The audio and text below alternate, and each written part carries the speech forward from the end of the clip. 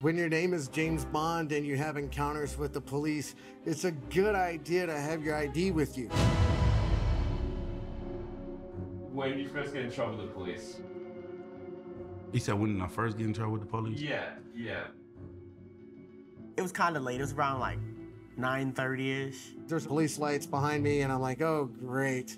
He, he turned the corner and we got pulled over and they're like flashing the light all in our faces. He said license and registration. I didn't have a driving license, I didn't have a bank card. Where your ID at? I don't have an ID. I don't have one. And I reach into my back pocket and realize there's nothing there, and I'm like, oh, crap, here we go again. I mean, this has happened uh, numerous times before, so I already kind of knew it was going to be a problem. So he's flashing light on my face, and he, he goes, You. And I'm like, yes, sir. He's like, What's your name? tell me your name. When it got to me, I'm like, shit. oh shit, I'm about to die. Um, so I tell him, James. And he says, uh, do you got a last name there, James? And I said, Bond. James Bond. James Bond. My name's James Bond.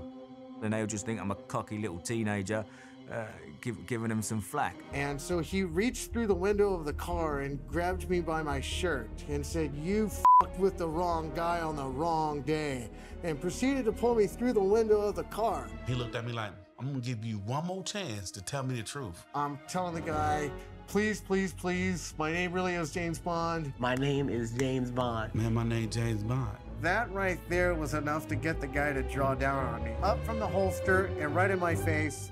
And he's like, You're right, and I'm Donald fucking Duck. Get on the ground, get on the ground.